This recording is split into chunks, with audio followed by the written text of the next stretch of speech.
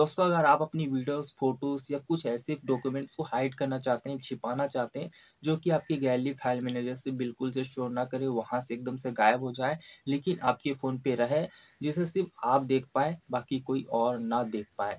तो अगर आप भी चाहते हैं वीडियो एंड फ़ोटोज़ को हाइड करना कैसे क्या किया जाता है, तो इसके लिए आप इस वीडियो को लास्ट तक देख लेना है। तो मेरा नाम है आकाश आपका हमारे यूट्यूब चैनल पर स्वागत है। चैनल पे दोस्तों पहली बार आए तो चैनल को सब्सक्राइब करें।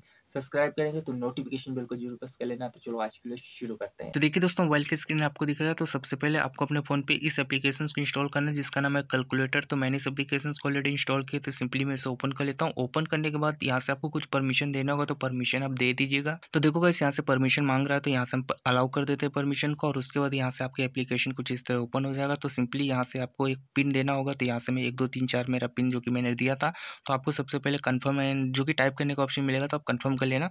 तो यहाँ से मैं इसमें क्लिक करके बराबर वाले ऑप्शन पर क्लिक कर दूँगा और उसके बाद यहाँ से आपको कुछ इस तरह का इंटरफेस मिल जाएगा। अभी यहाँ से आपको देखने के लिए मिल जाता है कि आप गैलरी या वीडियोस या आइडियो या ऐप या डॉक्यूमेंट या फाइल्स कोई भी चीज़ आप हाइड करना चाहते हैं तो सिंपली आपको क्या करना होता है? गैलरी पे क्लिक करना होता है।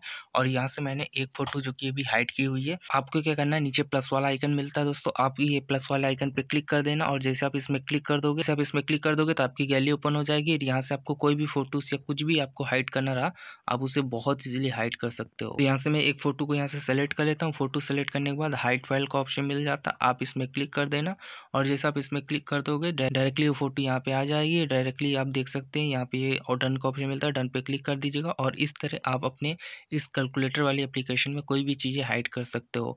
तो है ना कमाल की बात।